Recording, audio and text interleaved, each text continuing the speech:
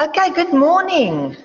I thought we'd start today's lecture with some music just to get the energy up because it is quite early in the morning. So, um, yeah, so I thought I need that. Maybe you needed that too. Okay, this is a quality song. Mr. Groenewald, do you know this song? I will be very impressed if you know this song because it is actually, I think it is like Norwegian or Swedish or something like that which means I have no idea what they are singing. They might be singing about sex, drugs, and rock and roll. I don't know, but I like the beat. Okay. Um, okay, let's start. So today we are, uh, what we're going to do today, we're going to look at um, uh, specifically example three. So in the video, I hope you all watched that prep video. So in the prep video, um, we uh, went through the formulas that IAS 12 gives us um, that we use to calculate the tax base of an asset and a liability. So now we are going to put that into practice and we are going to do example three. So um, in your notes, notes and class examples, you can follow along in, uh, with that for your example three. Um, know that, uh, oh, oh, I didn't uh, load any slides for you uh, for this uh, lecture for today because we are actually just going to through some examples. So you'll be able to make your notes there and, and, and follow with that. Um, so there's nothing new or weird on my slides that you don't already have in prior videos or um, uh, in your notes. Okay, so that is what we are going to be doing today. Good, so we, um, so what we've done up to now, we looked at what is deferred tax, and then we've also looked at that those tax-based formulas. So just to refresh your memory, but you did watch that video, so don't really need to refresh your memories. Um, we said that the tax base of an asset, when we calculate the tax base of an asset, we first have to ask ourselves, is the economic, will the economic benefits be taxable? And if that is the case, if the answer is yes, then that means um, that our tax base will be the amounts deductible for tax in future. Whereas if the economic benefits will not be taxable, then the tax base will equal the carrying amount. Now, sometimes you'll see now when we work through the example, this is sometimes a bit of a difficult question um, to answer. So the way that I figured it out for myself is um, if, we also, if we start a business to sell pens, okay, so uh, that will be our business. That's our main business now to manufacture pens and to sell the pens. Uh, so when we make when we make profits uh, from selling these pens, then the um, uh, those uh, the profits that we make will be taxable. So that's our main business. That's our main economic event that we that that that's the reason why we started the business. Uh, so everything that we buy, if we buy machinery or if we, if we buy a building or land or whatever, we do all of that because we plan to use that to manufacture the pens so that we can sell them and make profits. Okay, and then when we make those profits, we will be taxed on that.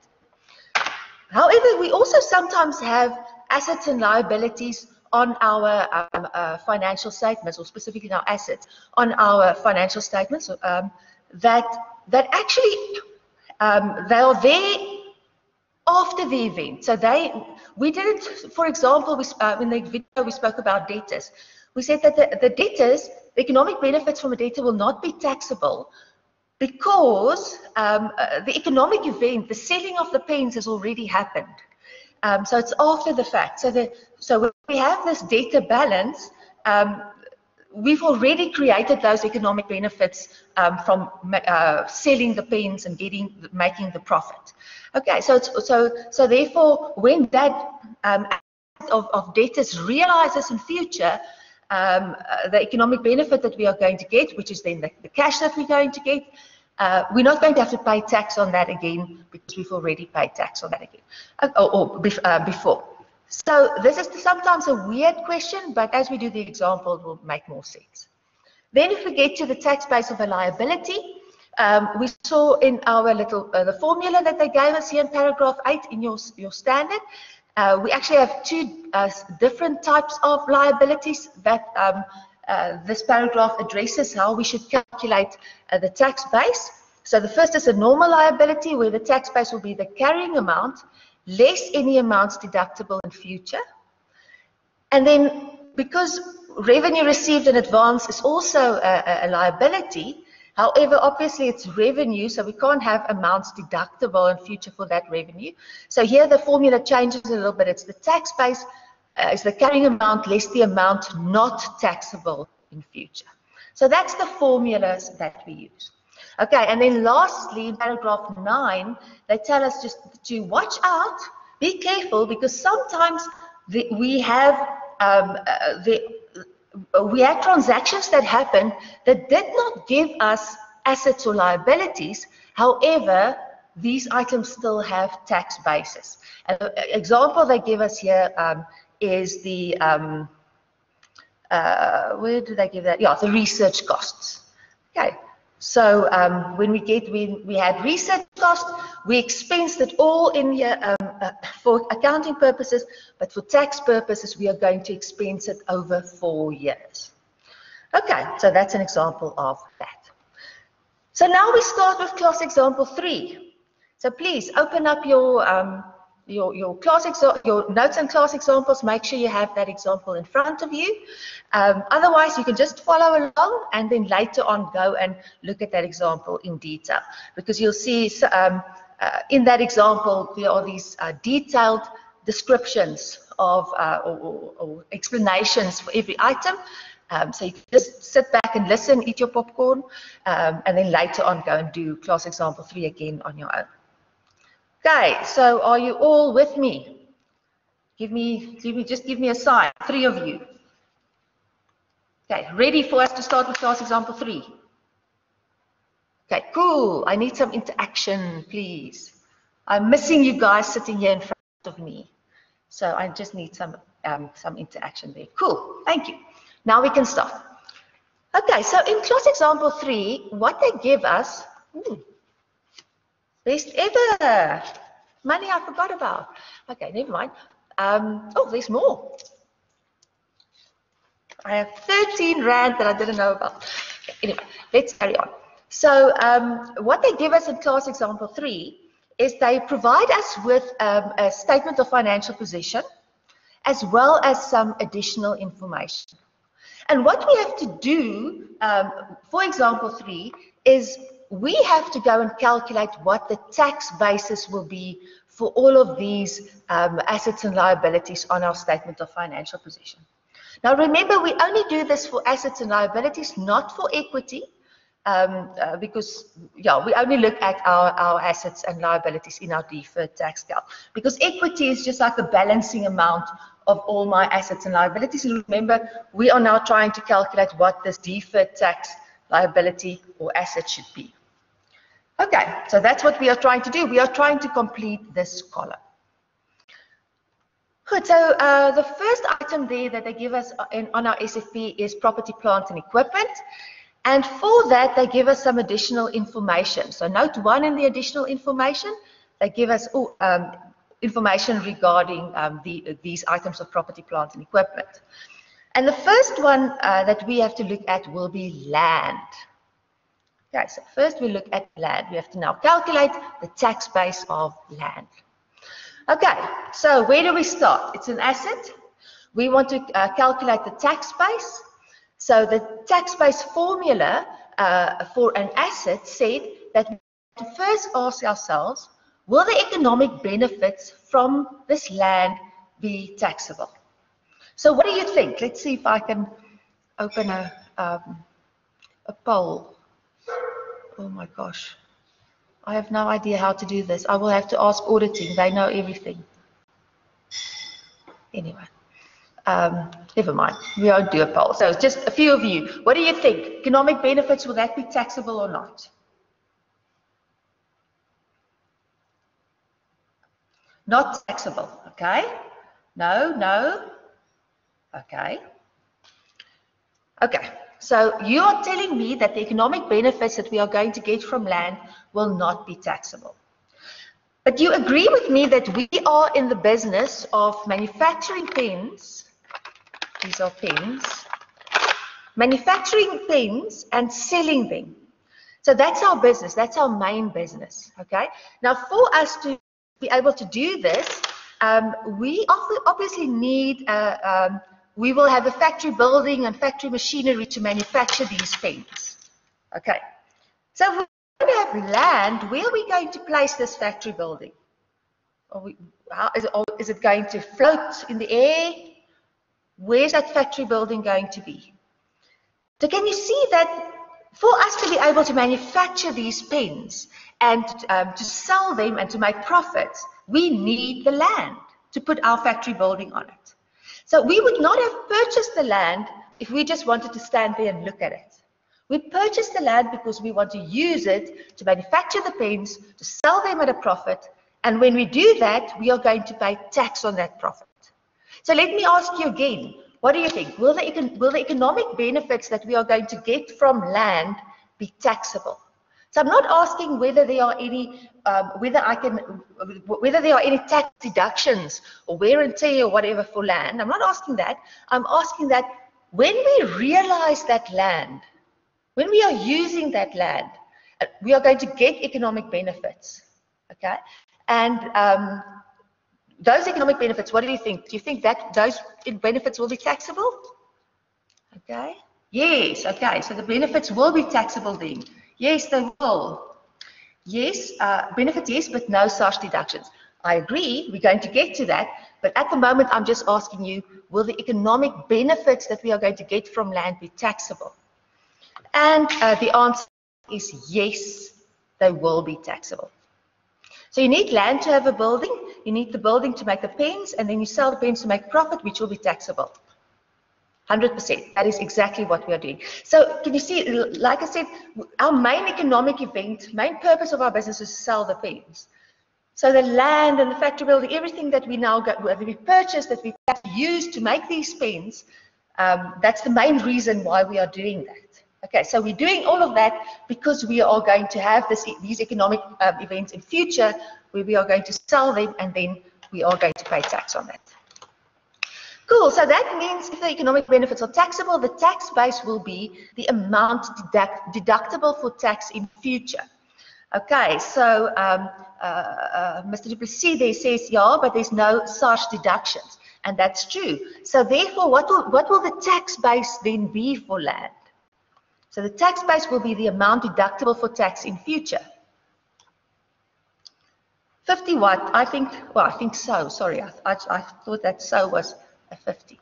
Yes, so the, the tax base will therefore be zero because my future deductions will be zero. I'm, I'm not going to get any tax deductions for that land. Okay, for specifically for the, the economic benefits that the land will contribute to. Okay, no, no tax deductions there. So that means in our deferred tax calc, um, we will have the following. We'll, we'll, have our land, then we'll have a carrying amount of 380,000. Tax base will be zero, giving us then a temporary difference of 380. Now, how do you feel about that temporary difference? Does that bother you that we are saying there's a temporary difference between accounting and tax for land? Do you, do you think there's a, um, there's a temporary difference? Hmm.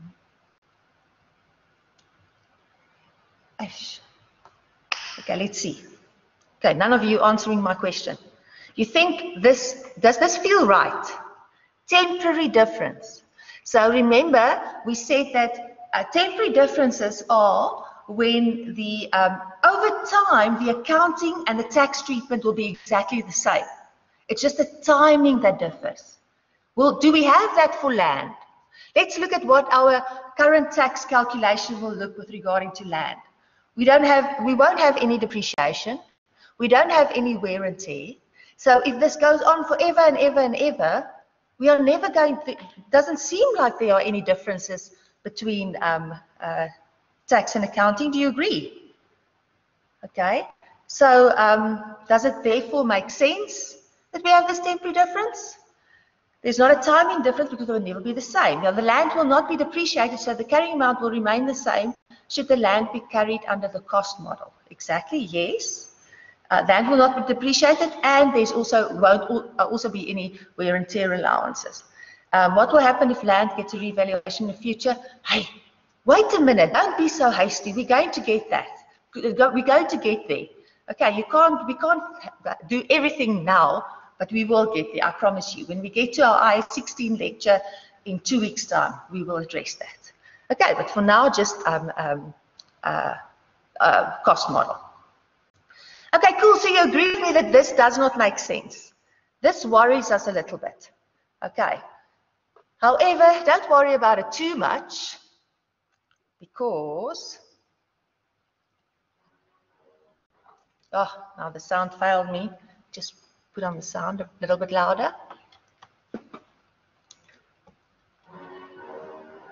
oh man sound up volume up okay so this is to be continued this we we will we, i'm going to get back to this um, uh, in today's lecture still about what we do about this weird temporary difference that we have over here. Okay, cool. Let's just play the sound again for fun.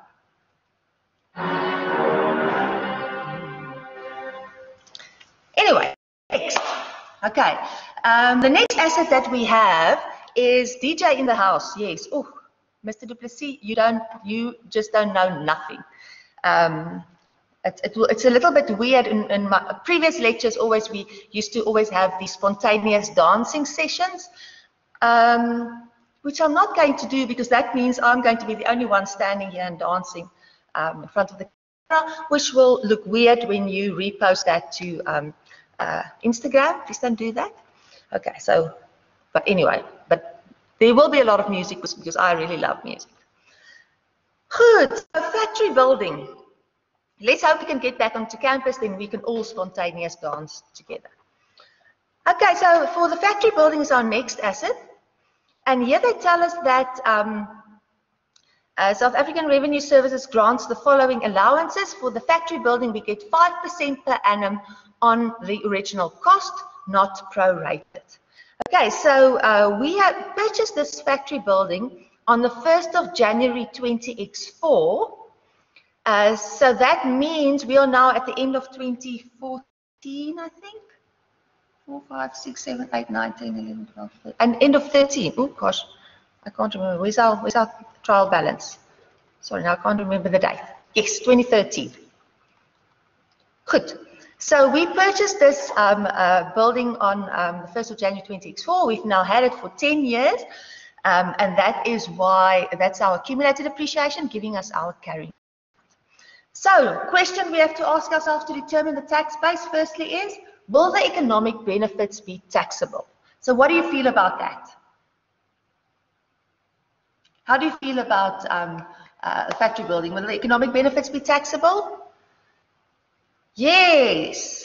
Okay. Mr. Mangali, thank you. You were the first one. Uh, yes, they will be. Okay, so that means then if that economic benefits will be taxable, then our tax base will be the amount that will be deductible for tax in future. Okay, so we now know that we've already had this asset, we've, we've now had this asset for 10 years, and we get, um, uh, uh, we get a 5% per annum uh, uh, allowance um, uh, on the cost. Okay, so now firstly, I saw that question a little bit earlier um, yes, we will tell you what the, the periods or the percentages are um, uh, for which these assets will be, um, uh, for which an allowance will be granted by SARS. Okay, so we will give you this information. And you'll see sometimes we make up our own tax law if we want to um, address a certain specific aspect. Okay, so um, we're not really integrating that much with, with tax on third year. You'll do that next year in CTA. Uh, okay, so we we get 5% per annum. Now, 5% per annum equates to 20 years. So 20 years times 5% gives me 100%. Okay, so we've already had this asset for, for 10 years. That means there will be 10 years remaining, 10 years worth of um, allowances remaining. So the amount will be deductible for tax in future will be our carrying amount less the 10 years deduction that we've already received, and that gives me then the 10 years deduction that is remaining. Okay, uh, so that's our tax base for the factory building.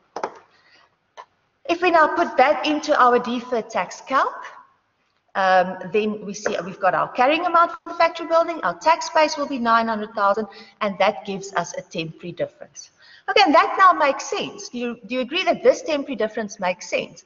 Because in the end, we are going to um, uh, uh, uh, we are going to ex expense the full uh, carrying amount, the full cost of this asset uh, through depreciation for accounting purposes, and we are also going to get the full cost of um, the factory building as wear and tear allowances in future. So over time, accounting and tax is the same.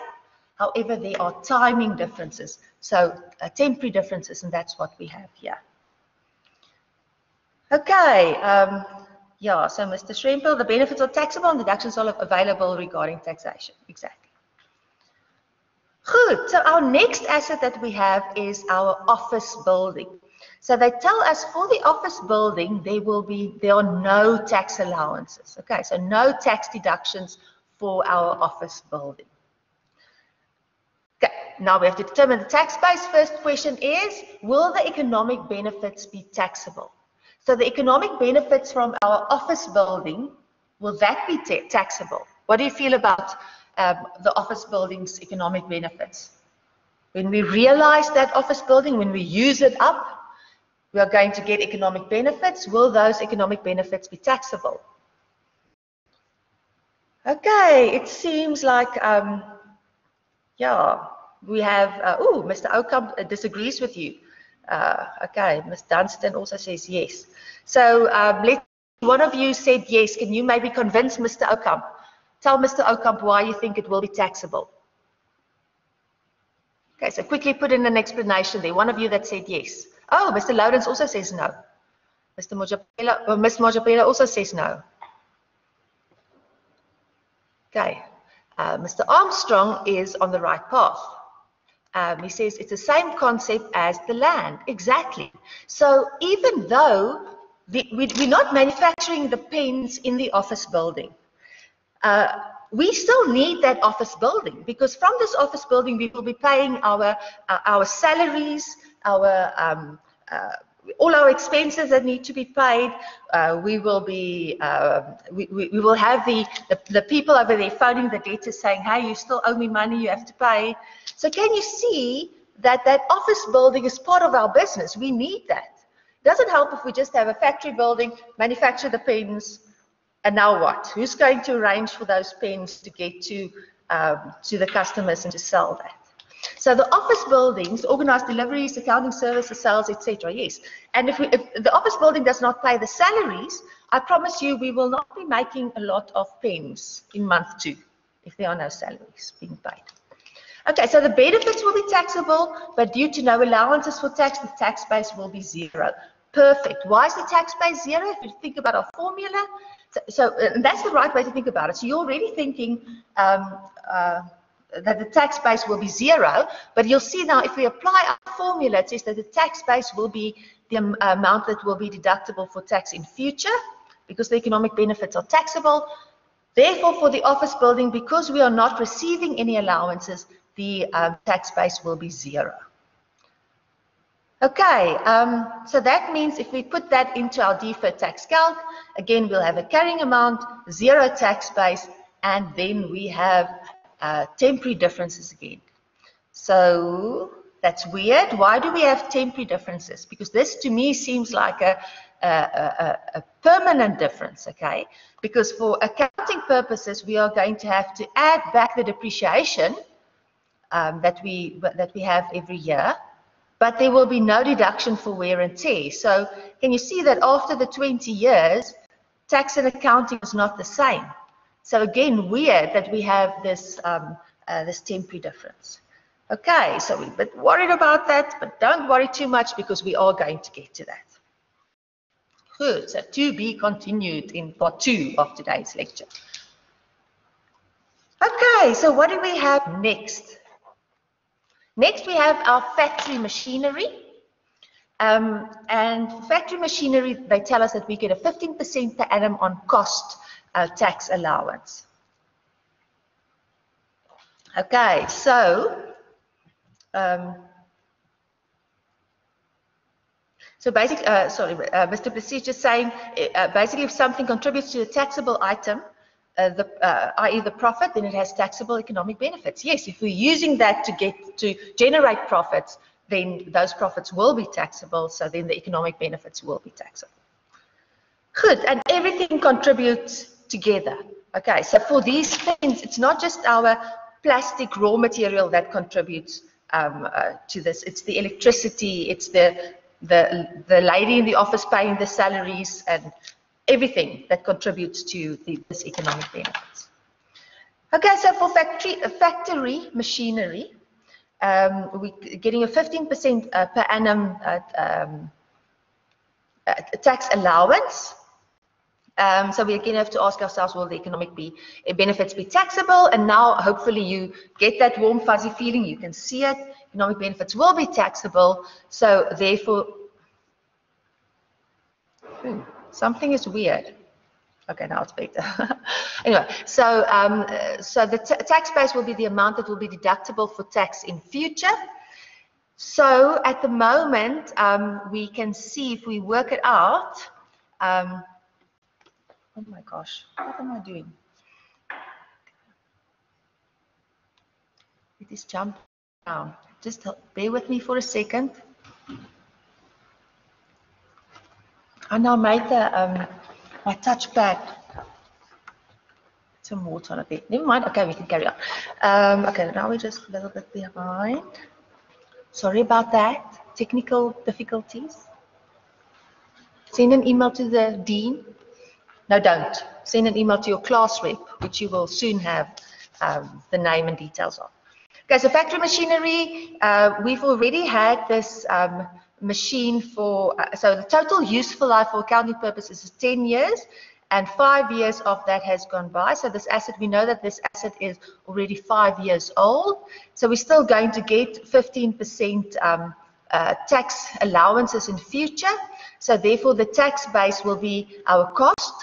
There's the uh, tax allowances that we've already received, the five years that are past. That gives us the five years that remain uh, for, for this asset. Good, so machinery, there's our carrying amount, there's our tax base, giving us a temporary difference. And we are, again, we are happy with that uh, temporary difference because it makes sense. Accounting and tax is going to be the same in the end, um, however, there will be timing differences. Good. Next is a patent. Uh, they tell us it's another intangible asset. And they now sort of give us the, the tax base of that patent. They say it's 420,000. We don't now have to worry and go and calculate it. But the principle is still the same. We are going to use this patent. Um, so the patent that we have is for the, the magic ink that goes into these pens. So obviously we need that patent to generate the future economic benefits. Therefore, the amount that will be deductible for tax purposes in future, they've given to us as 420. Okay, so we also have a, a, temporary difference over there. We will be looking at intangible assets later um, during this quarter still. Okay, um, let's see. Uh, what is an example of something that does not contribute to taxable economic uh, benefits? Okay, we, we, we will get to that, uh, but I see Ms. Dunstan has already answered you. Okay, so um, yeah, we, we'll get to that. Okay, so just hold your seat. Okay, I'm going to keep you in suspense about that one a little bit longer. Next asset is inventories. So for the inventories, do you think for those inventories, the economic benefits will be taxable in future? What do you think about that one? When, so if we now have these pens in our inventory, we are going to realize these, this inventory by selling it. Okay. So when we sell it, we're going to get revenue in and we are going to be taxed on that. Do you agree with that? So the economic benefits will be taxable.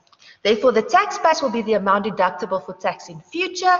And because for tax purposes, remember what we do for tax purposes is, um, I think it's section 11.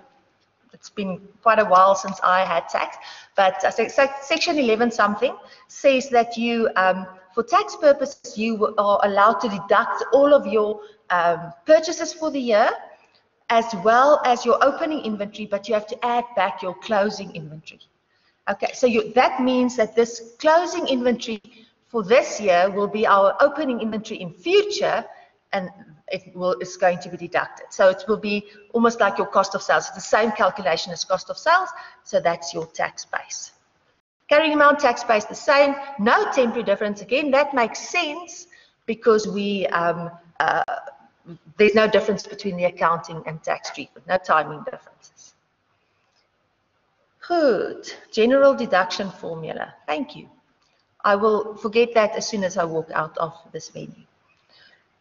Good. So, uh, but you can't because you still have to write tax exams, but I don't. Okay, next, trade receivables. Okay, who was it? Mr. Armstrong who asked that question. Um, uh, what about trade receivables? So trade receivables, they give us some additional information and they tell us that my trade receivables consist of our trade debtors control account reduced by the balance for uh, the allowance for expected credit losses of 50,000 50, rand. And then they tell us that we get a, uh, an allowance of uh, uh, a deduction of 25% from of this balance of the allowance for expected credit losses um, each year. Now, what I want you to see here, and I want you to make sure that you understand this, is that we will, oh, now I can use the doc cam. Thank you, Indra. Um, you must always remember, don't, don't, don't get this confused and mess it up. Okay, and this comes from FRK 100 already. I was a lecturer for a few years on FRK 100, so now you are taught that over there and at school as well. So we will have our um, our gross debtors, I hope you can see this. So we'll have our gross debtors T account, which will have, will always have a debit balance. Okay, so there will always be a de debit balance. Now my allowance for expected credit losses, okay, remember don't do this, I will send a, um, a lightning strike to, to hit you when you use um, uh, acronyms like that or abbreviations like that. But just remember that this allowance for expected credit losses will always have a credit balance. Okay? And what happens is these two accounts together give us our trade receivables on our SFP. Okay, so our allowance for expected credit losses is almost like our accumulated depreciation. So these two accounts always go together. So don't don't don't see this as a liability. It's not a liability. It's just an uh, uh, something that decreases the value of our gross debt. So make sure you understand that. Okay, so we're firstly going to look at our gross trade receivables. Now that is an asset and um, uh, a contra asset, a negative asset, yes, something like that. Good. So, but it's actually part of the same asset. We're just keeping it, keeping these two um, entries separately to help us with our administration. So that we, because if we now put that, put this credit in here in our gross debtors, then we are almost losing um, uh, that control of who still owe us money. Remember, because this is just what we say, oh, we think. We're worried about these debtors, this one, this one, this one.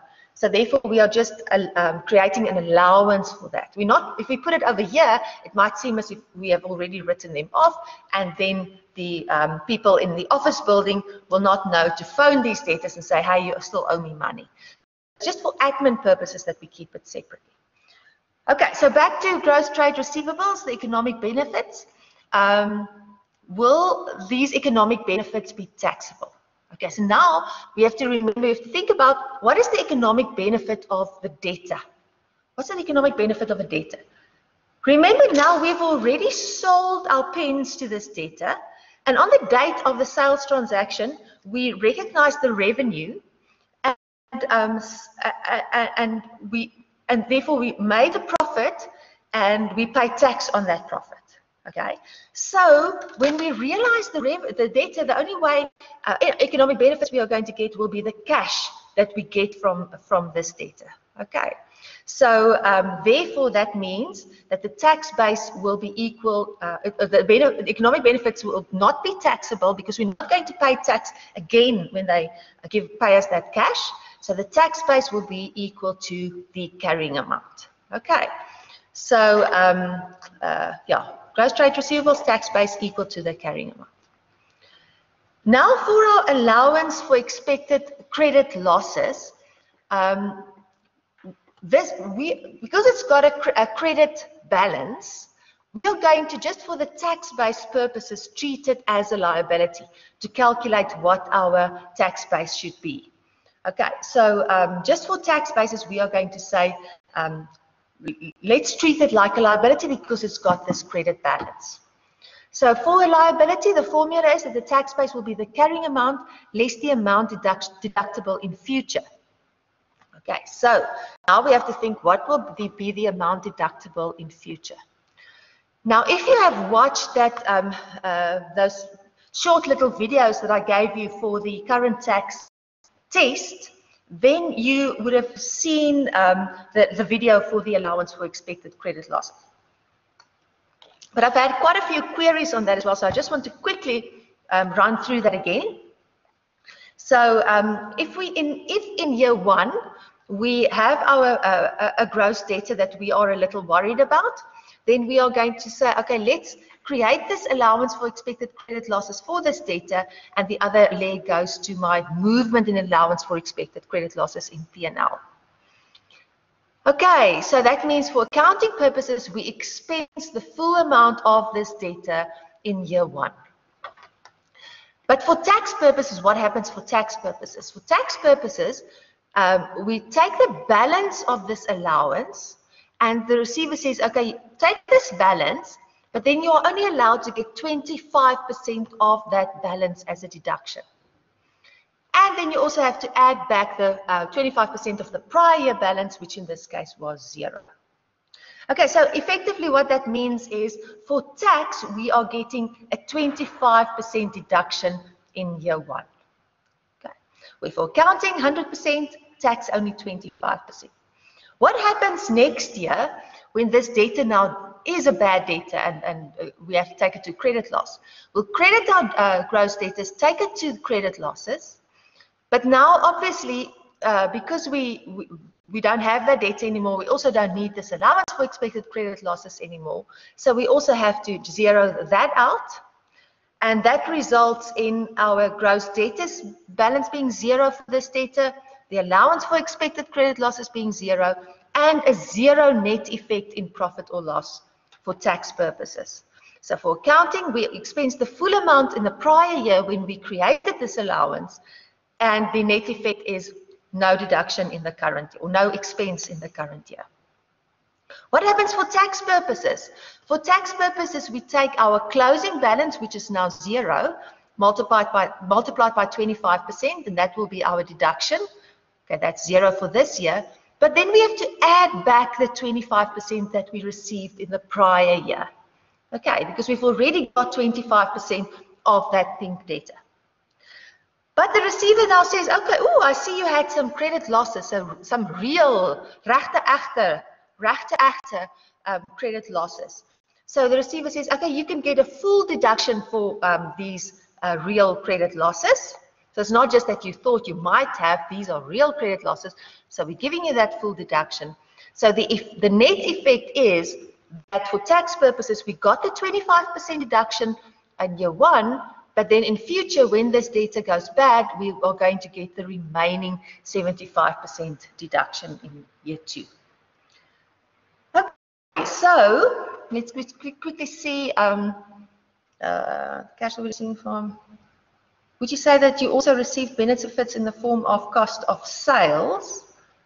Um, well, your cost of sales um, so that was a benefit in the, in the sense that you um, deducted that. Okay, Mr. Palafala, I'm not sure if I, uh, so yeah, we got that as a deduction, so that was a benefit, yes.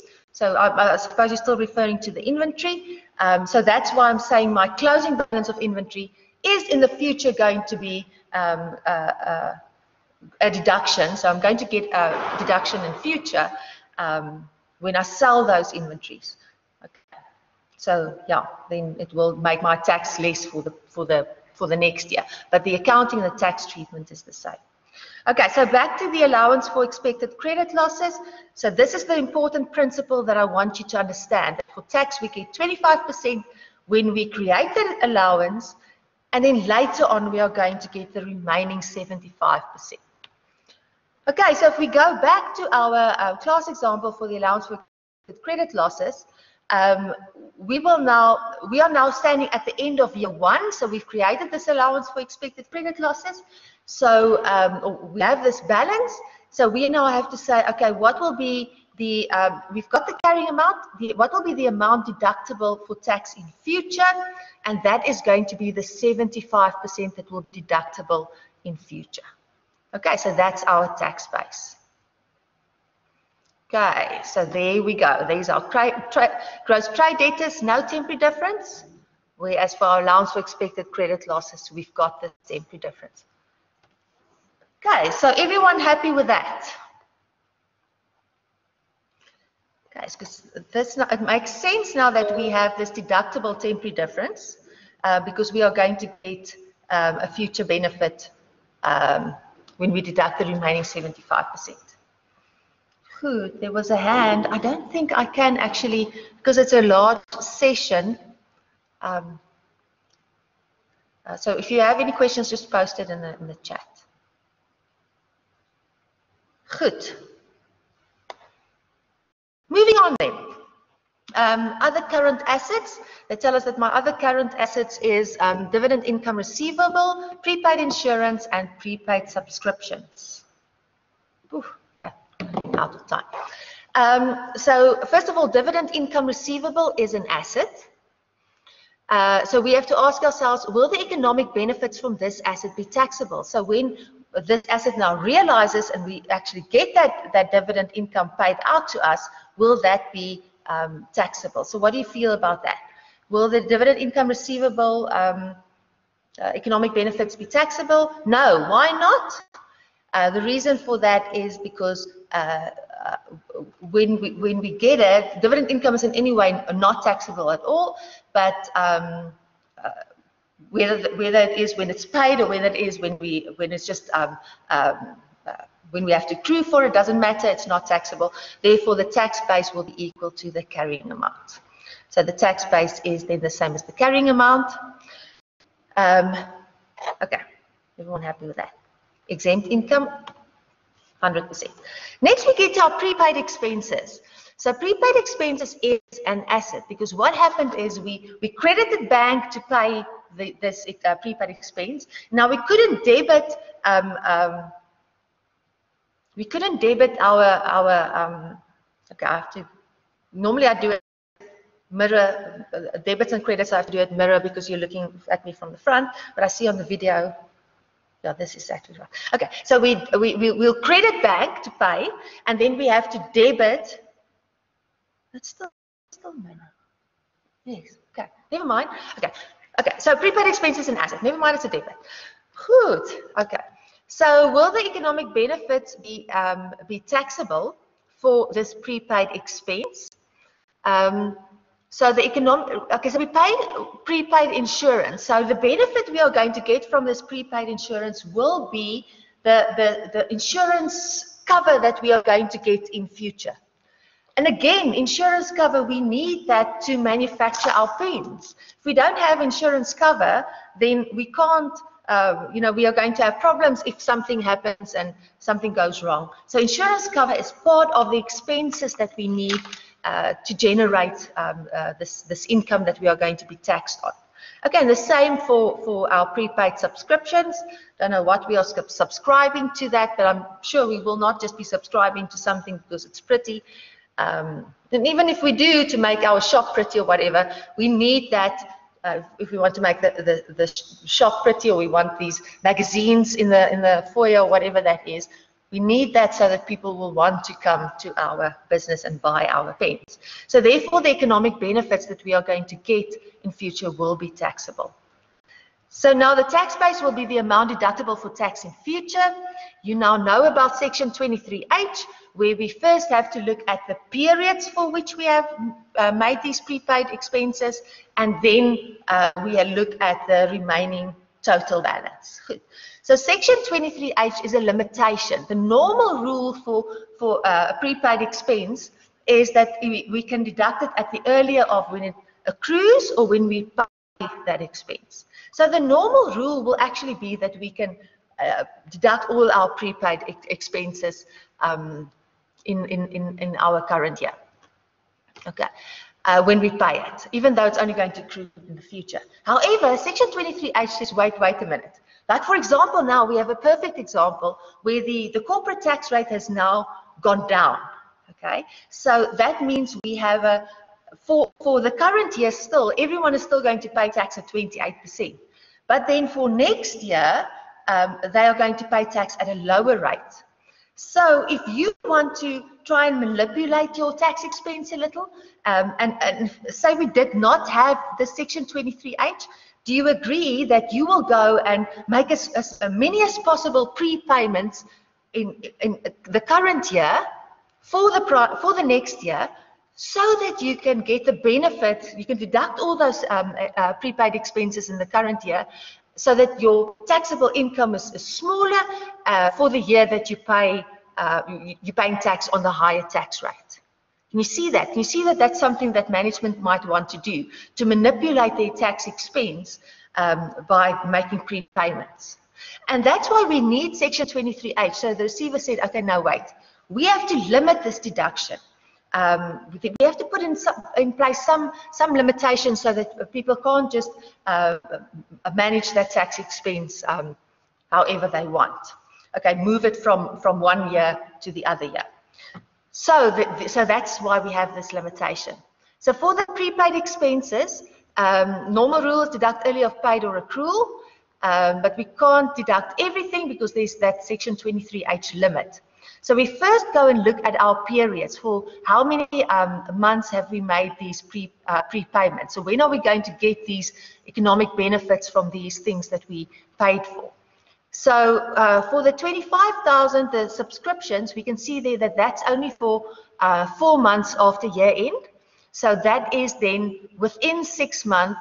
So then the receiver says, okay, no, this is a short period, don't worry about it, go ahead deduct um, deduct that in the year that that you pay for it. Okay, so don't worry about the limitation. If it's within a short period, go ahead and deduct it, regardless of what the amount is. However, um, for the 285,000, the prepaid insurance, you'll see that this is for a period longer than six months. It's for eight months. So therefore, we have to go and look at the total, the rand amount. And yes, SARS said, if it's less than 100,000, oh, it's small fry. Don't worry about it. You can also just use the normal rule and deduct it when you pay for it. But if it's more than 100,000 Rand, which it is in this case, then um, uh, the receiver says, no, wait a minute, you can't use the normal rule. You will only be allowed to deduct it when it actually, um, uh, when that ex uh, expense accrues in the next year. So for the 285,000, the tax and the accounting treatment is exactly the same. Okay, so we won't have, we're not expecting to see any temporary differences for this pre, uh, prepayment. But for the prepaid subscriptions, there is going to be a temporary difference. Okay, because our um, tax base will be the amount that will be deductible in future. So for prepaid insurance, the amount that's going to be deductible for tax purposes in future will be the full um, carrying amount because remember, um, SARS said, no, wait, limitation applies. You can only deduct that next year when that ex expense accrues um, which is the same as accounting treatment, no temporary difference. With the prepaid subscriptions, it's prepaid for four months, um, and so the receiver said, no, just use the general rule, don't worry about it. So it's already been deducted. So although we are going to be deducted in future for accounting purposes as an expense, but for tax purposes, it's already been expensed, so there is no future deductions, giving us the temporary difference. Okay. Good, so that's then prepaid expenses. expenses. Um, is it a benefit because you reverse it, which increase your expense, which decrease your profit in the next period? Mr. Armstrong, I'm not sure. Yeah, you probably, if I haven't answered your question by the end, then we can chat about it again. Okay, so the next one is cash and cash equivalents. Now, the cash and cash equivalents um, is the same principle as our debtors, actually. So the economic event, this, the, sale of the pens have already happened. We've already paid tax on that. So now we just have this cash in the bank. So we can go to the bank, withdraw some of that cash so that we have it in our hands. We're not going to have to pay tax again when we withdraw that cash. So the economic benefits uh, will not be taxable uh, because remember it's already been taxed when we when we had the transaction. Um, so therefore, the tax base and the carrying amount is going to be the same. No temporary difference. No future tax effect. Okay, so next we're getting to our liabilities. So um, you'll see there there's a, a long-term borrowings and then there's a short-term portion of the long-term borrowings. And then in the additional information point seven, they tell us that um, this is the capital amount of the obligation to the bank. Included in the short-term borrowings amount over here is an interest expense accrual for 50,000 Rand. Okay, so we have to split that out between what's, what's the capital amount outstanding versus what is the accrued interest amount outstanding. Now, when we get to liabilities, we don't have to ask ourselves about taxable economic benefits, is it yes or no, whatever. We can just go into our formula um, and here the formula is the tax base will be the carrying amount less the amount deductible for tax in future. Good. So for the borrowing cost, the capital balance, um, the um, our okay. So what what this is the, the, our total amount for borrowings now is our long-term portion of 1.3 million plus the short-term portion of 250. But remember, we have to remove that accrued interest. So the total amount for borrowings is 1.5 million. Now, the tax base is the carrying amount of 1.5 million less the amount deductible for tax in future. Now, in future, when I make my payment on the loan, remember that payment is going to have a capital portion and an interest portion. Now, when I make that payment uh, of the capital portion, I'm not going to be allowed to deduct that payment of the capital portion for tax purposes. Yes, the interest I will be able to, um, to deduct, but the capital portion I'm not going to be able to deduct. So this amount is only the capital portion, always. Uh, this will be our um, only our capital amount outstanding. So therefore, the tax base uh, will be the carrying amount less zero that will be deductible in future, giving me a tax of 1.5 million. Okay, and then, um, so no deduction for the capital portion. Now for the interest um, uh, portion, that's our carrying amount is the 50,000, amount that will be deductible in future. Now, as I told you, for tax purposes, we um, will be, uh, the interest will be deductible. But the interest will be deductible when it accrues, or earliest of accrue or pay. Okay, so um, so therefore, the interest has already accrued during the current year. We were able to deduct it in the current year. So therefore, we will not, next year when we pay that interest, we will not um, be able to deduct it again. So therefore, the amount deductible in future will be zero, giving me then a tax base of 50,000. Okay, so that is what our tax, um, a deferred tax calc will look like for now. No temporary differences because there are no future tax effects. Let's quickly just check these questions, Mr. Mangali. So whenever determining if an asset or liability has a taxable benefit or not, do you have to see if such an asset or liability affects your goods or services in a way?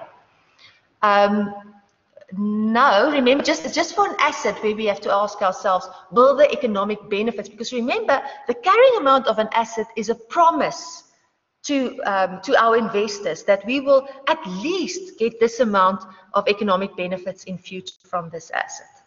Okay, so um, uh, so so that those economic benefits that I'm going to get from this asset will they be taxable or not?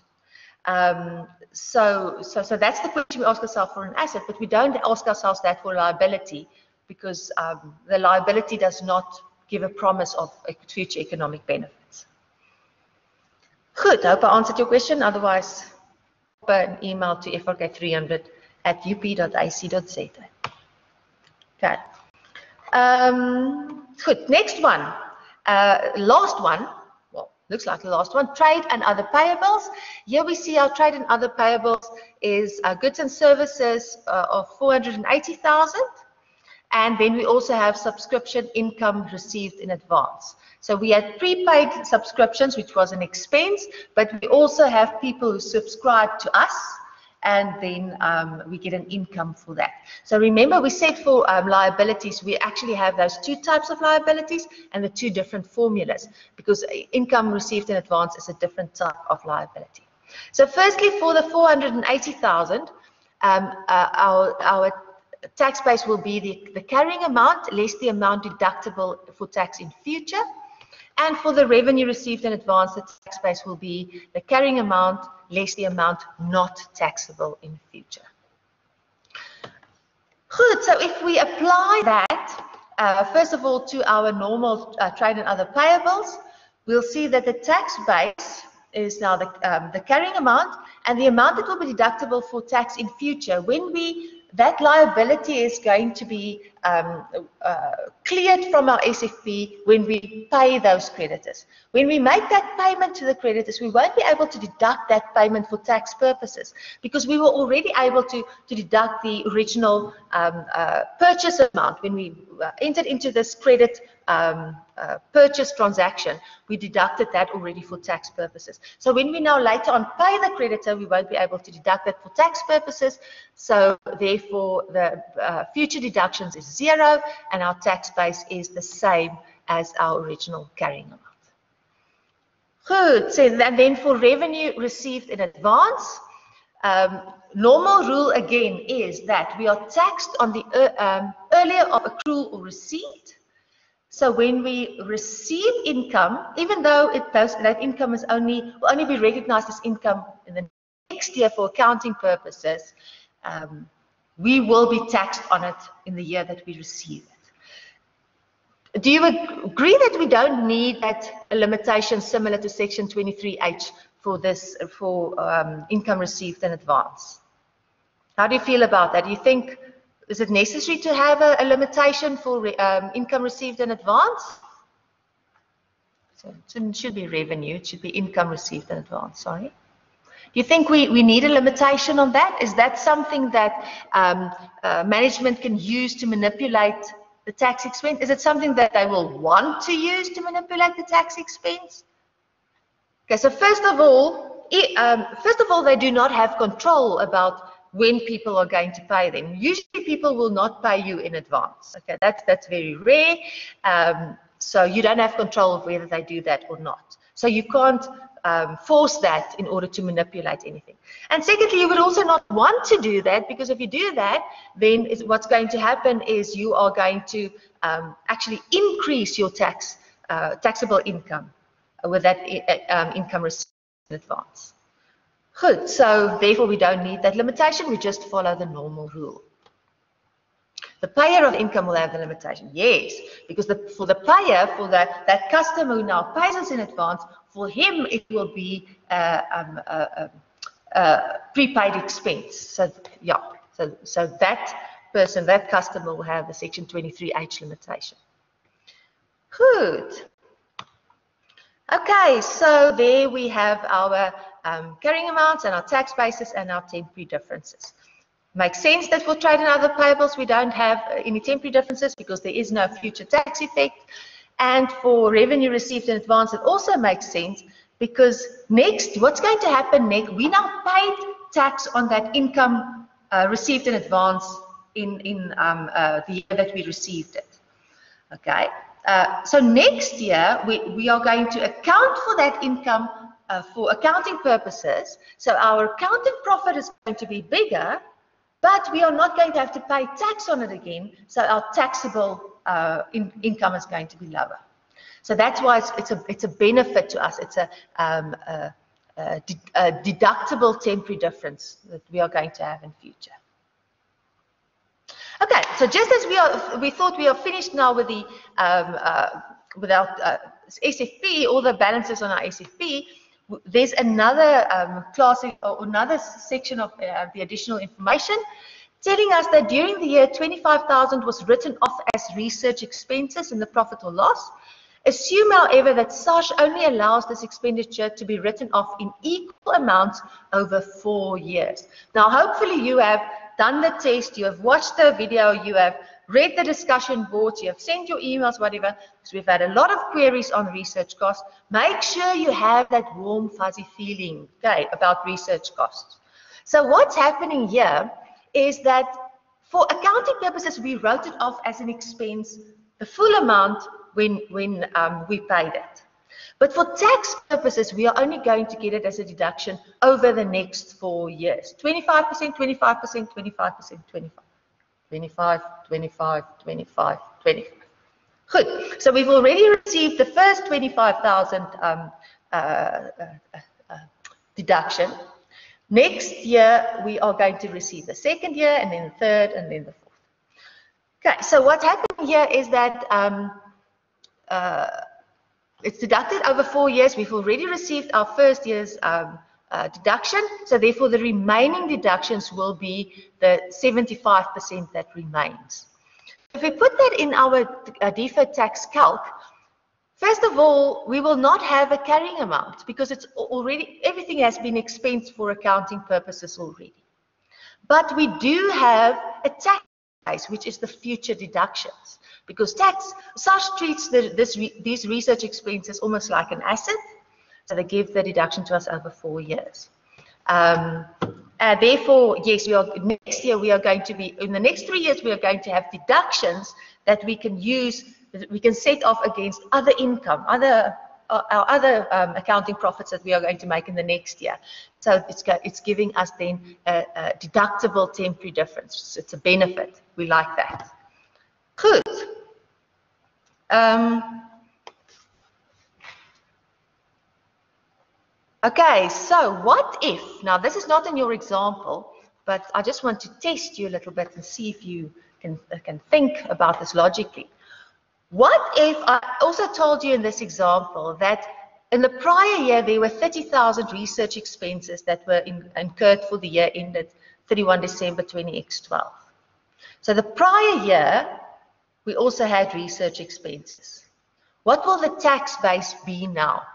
So obviously we said here that, ooh, that the, uh, for, uh, the carrying amount is going to be zero because these research expenses for the current and prior were written off as expenses, but they were tax, there's still values for tax base.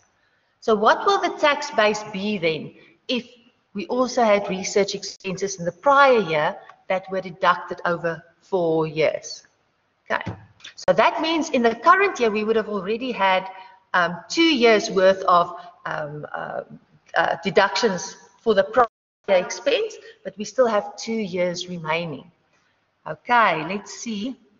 Um, okay, I see 15,000, yes, so, so 15,000, but that's not the full tax base now. What will be our full tax base for research expenses at the end of the 2013 year?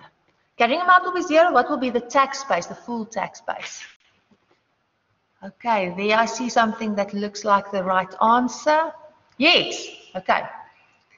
So the tax, when we calculate the tax base now, we will say, okay, for the 25,000 that was paid in the current year, 75% of that remains. So that's the remaining three deductions that we are going to get.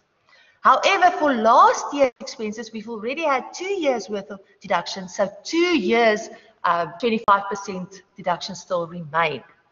Okay, so then the total of these two, which I assume is 33750, would have been our tax base. Okay, so but this was just a what if, that's not part of the example, but just so that you understand that. And while we're talking about research expenses, um, what would be the situation if we our research expenses, uh, if we had our 25,000 expense during the current year, but SARS allows us the 150% deduction. What will our carrying amount and tax base now be for these research expenses? What do you think? What will the carrying amount be?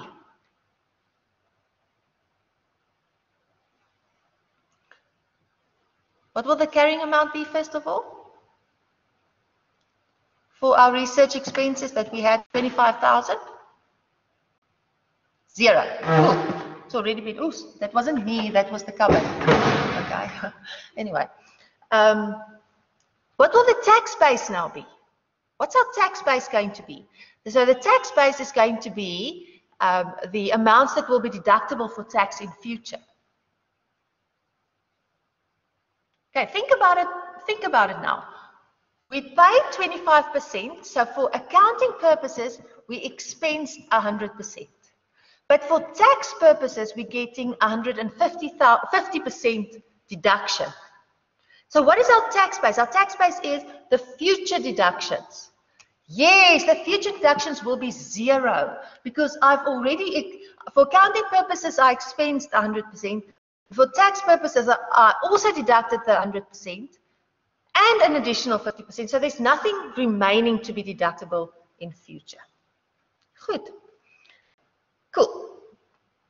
Okay, so now we have done example three, where we have, um, uh, we've got our carrying amounts, we've got our tax basis, and we have calculated what our temporary, or now we can calculate what our temporary differences should be. We've actually done that in the example by taking carrying amount, less tax base, giving me um, a temporary difference. If the amounts are positive, you'll, and you think about it, and you'll see, okay, yes, they are taxable temporary differences. If we have a negative amount, you'll see that that, that is a deductible temporary difference um, uh, for the future. Good. Um, okay, so now we are, let me just quickly check the time. We have until 15, so now another 10, 12, 13, 20 minutes, however long we want. Good. So um, now we get to the second part of, of um, uh, this recognition now of our deferred tax liability. Because up to now, all we've done, sorry, up to now, all we've done is we've just uh, calculated our temporary differences. Now we are going to go to the next. We take these temporary differences, multiply them by our tax rate to calculate what our tax as deferred tax asset or deferred tax liability should be. And before we can do that, we have to look at our recognition paragraphs in IAS 12. Okay, so in IAS 12, your recognition paragraph, first of all, uh, paragraph 15 is how do we recognize a deferred tax liability, uh, a deferred tax liability? Okay, so um, so paragraph 15 in your standard, make sure you look at that and you know where it is and what it says. So first of all, a deferred tax liability shall be recognized for all taxable temporary differences. So we say that when we have a carrying amount of, um, uh, say our carrying amount is 500 and our tax base, no, it's the other way around. Yeah, tax base is, never mind, let's start over. Let's say our um,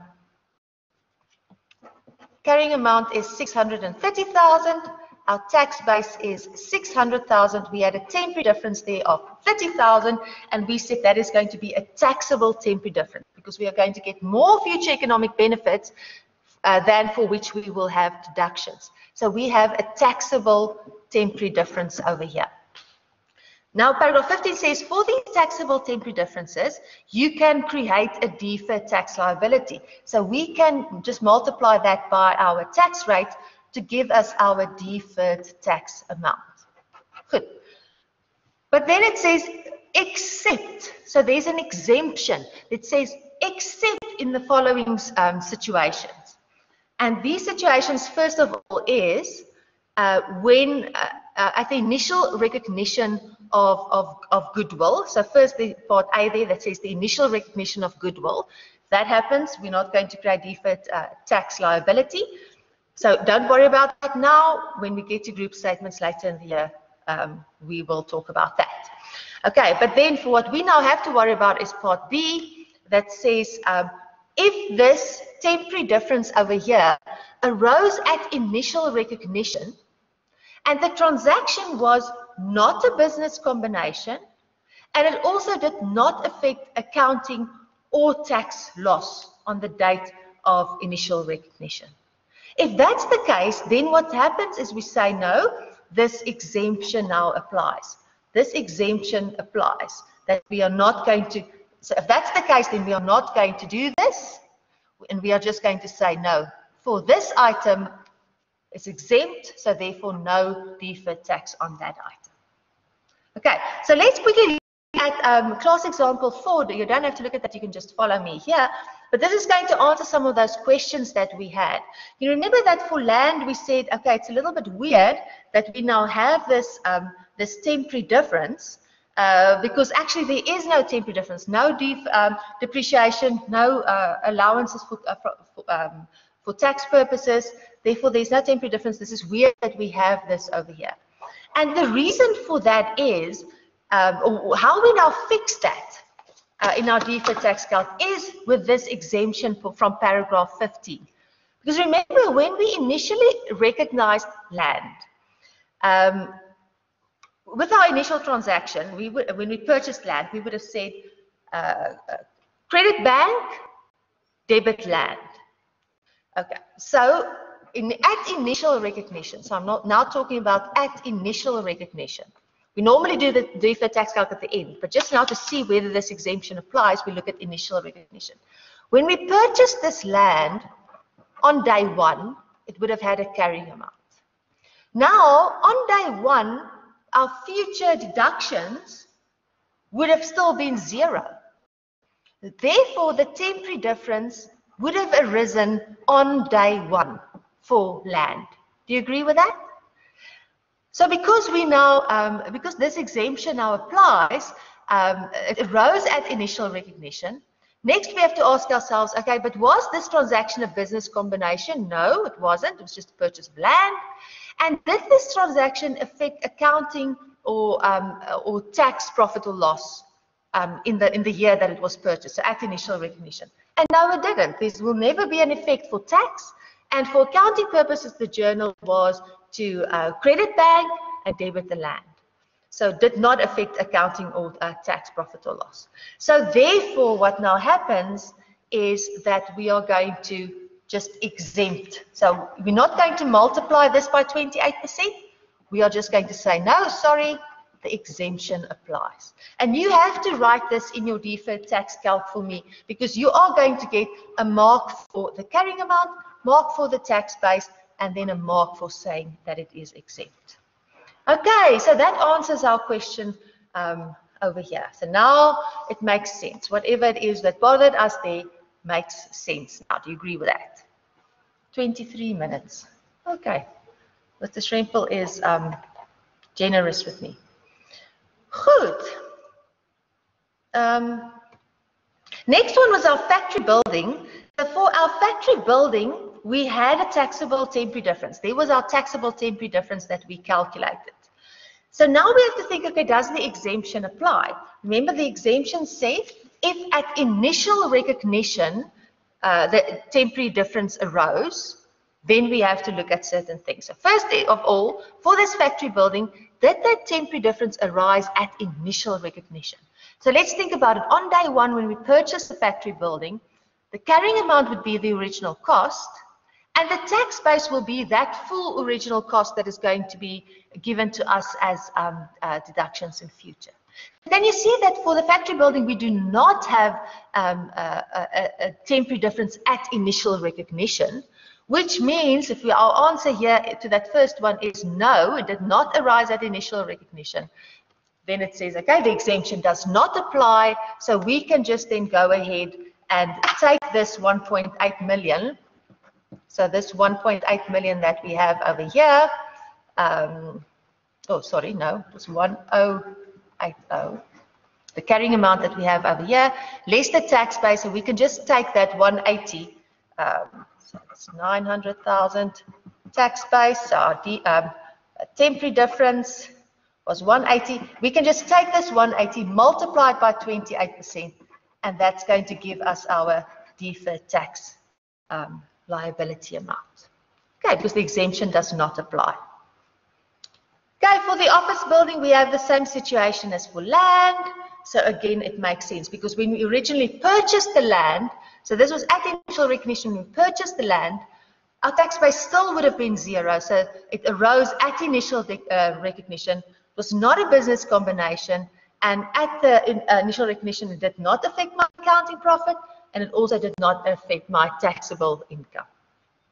Okay, so therefore the exemption applies again. Good. Everyone happy with that um, exemption of this deferred tax asset? Ach, deferred tax liability.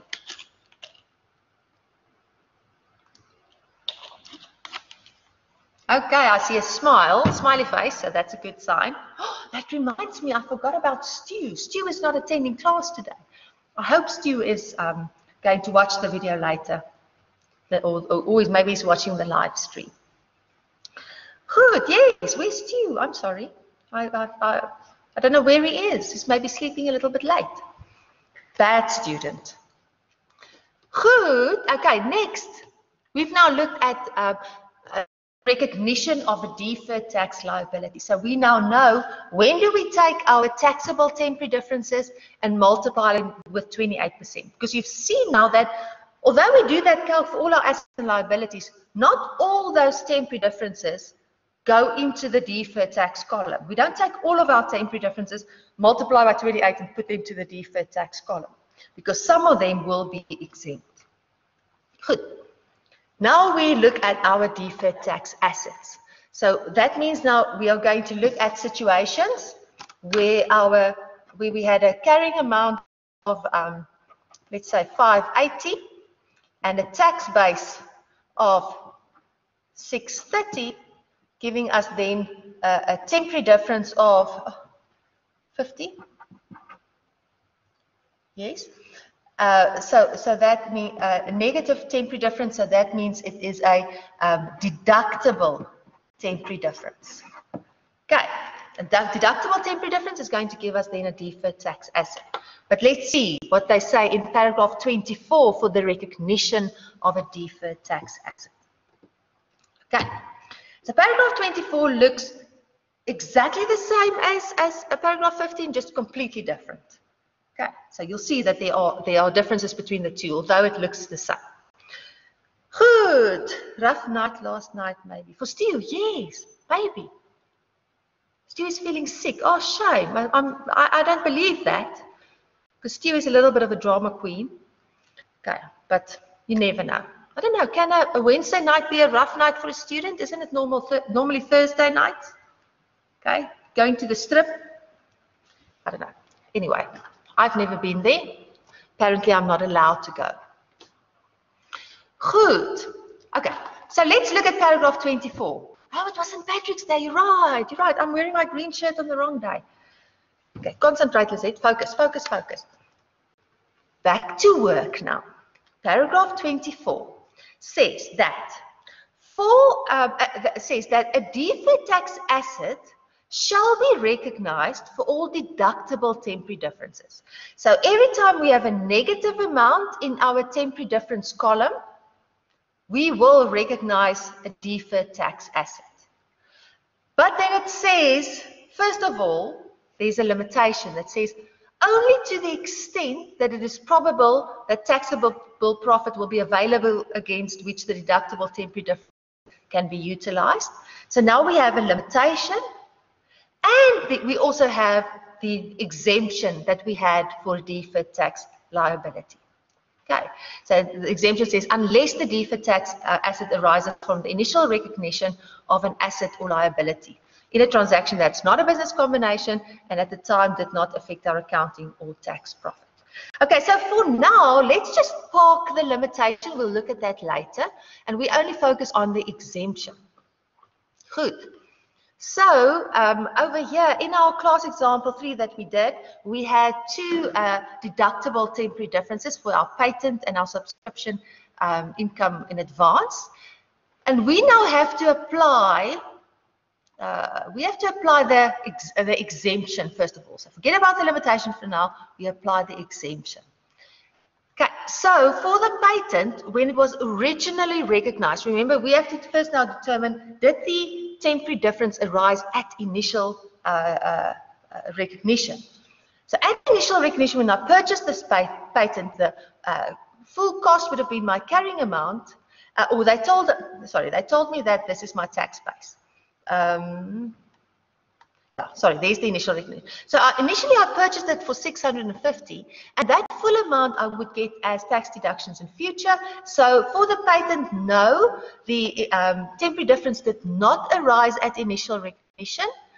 Therefore, exemption does not uh, uh, apply.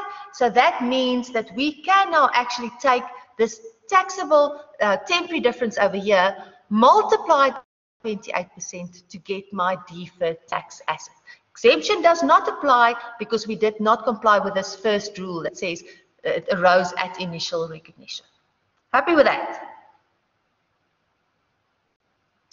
What does LMAOO stand for? LMAO? Oh. Can you laugh it off twice? Laugh it off and off again. Okay, good. So we're happy with that for the patent. Uh, next one is the subscription income in advance. Um, we also have this deductible temporary difference.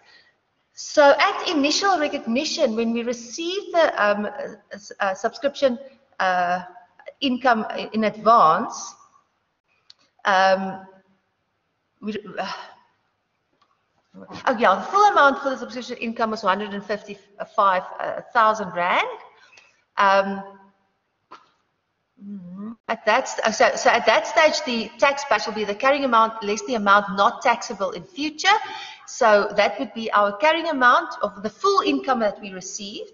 And the amount that will not be taxable in future will be that same amount because we are, we are taxed actually the moment we receive it. Therefore, the tax base is zero. So here we have a situation where the temporary difference um, arose at initial recognition. Okay, so now it seems that the rose at initial ignition, ignition, so it seems as if this exemption applies. But that's weird because when we looked at it, we said, oh, it makes sense that we have a deductible temporary difference. We didn't have, don't, don't, don't, don't know what to do about it. So why, it seems now as if the exemption applies. But does the exemption really apply? Because remember, we also have to look at, was the transaction a business combination? No, it wasn't. And then number three, did the transaction affect my accounting profit or my tax taxable income at initial recognition? So let's see, at initial recognition, when I received this full amount of income, I would have said debit bank with a full 155,000. And then I would have said, now for, for the income when I received it, okay, now it would have gone to income received in advance. It's also SFP. Okay, so accounting profit, no. Accounting profit was not affected. However, when we received that money, we already got the, um, uh, uh, the tax deduction. So that means that this transaction did affect my, my taxable profit, taxable income. So because it does not comply with this rule number three, the exemption does not apply. The exemption does not apply, so we can actually go and take this taxable temporary difference multiplied by 28% to get to my um, uh, deferred tax asset. Okay, maybe it was a typo. What's what typo did I make? Oh, the O, the extra O. Okay, Mr. Marcusi, I think you made a typo. Or otherwise you should maybe don't tell us what the extra O is for. Okay, maybe don't. Maybe don't. Okay, so that's it. That's um that's our, our lecture for today. That's the plan of what I wanted to do with you for today. Oh no, wrong one. This one. Okay, so let's quickly, we'll, we have a few more minutes left. Uh, I can't remember exactly now what I told you to do for homework. I think you can now go and complete question one, uh, parts, I think it's what, B and C and D. Uh, you can go and complete uh, question one of the homework questions. And you can also go and um, you can also go and uh, I think there might be other homework questions that you can use as well. And please go and look at these examples again. So the explanations in the examples uh, might, might, be a little bit different to the way I explained it in class. So if there's still something that you, you don't have that warm fuzzy feeling again or, or yet, please go and look at those examples in your notes and make sure that you are you are comfortable with that. Question 1C and question 2B Okay, Miss Marie, yes, you can, I'll assign you the responsibility of always telling us what our homework is because I set up that online activities planner weeks ago. I can't remember what I said there. I'm really enjoying the live streams. I'm so happy about that. Okay, maybe we just, we need some music just because you are enjoying it so much. What do you think? Hmm? Should I play you some music? I, will play you that my, my, my favorite song again. My children hate it. Okay, but I do play it for them six o'clock in the morning, so that's maybe not a good idea. Good. Now I just have to fix the sound. Okay, so um, the on yes, please let's rave. No COVID at the strip. COVID sleeps between six and zero. Yeah. Oh, so I can we can go to the strip, but I'm not allowed to go. It's student night pre-party now in class. Yes, on my piano. Ooh, I think I have that. Think I actually have that. Um, when will the live session recordings be available on ClickUp? They after the session, after I've now stopped the recording, um, it takes a it takes a while because it's a long video. So it's going to take a few minutes to download into into Blackboard, and then we go. We have to go and uh, copy paste it to the um, um, Google Drive. So it does take a while, but um, I, I, it will happen. Good. So um, let's see. I'm sure I have on the piano.